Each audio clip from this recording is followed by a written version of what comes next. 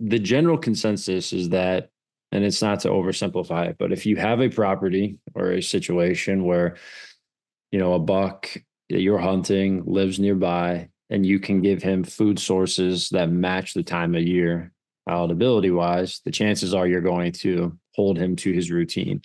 You know, and I think back to Poseidon, or I think back to let's just say Loch Ness last year with Owen, you know, the, the velvet buck that I was, you know, hunting.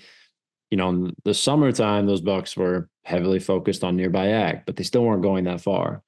And then as the beans defoliated and all of a sudden these, you know, early season greens plots, you know, and like Owen's case, you know, he did that whole variety from Monster Buck that had all of these different plants that in his mind, he wanted to give a food source for Loch Ness at all times of the season.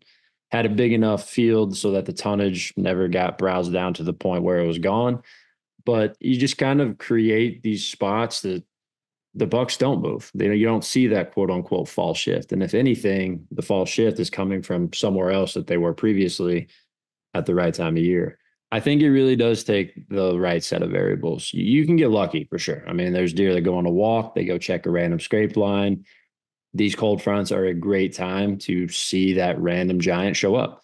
I mean, you can't get discouraged because you don't have the perfect scenario. You know what I'm saying? But you also, in my opinion, need to temper your expectations that it's not that some of these guys we see go out and do this year to year to year. It's like, oh, that must be nice.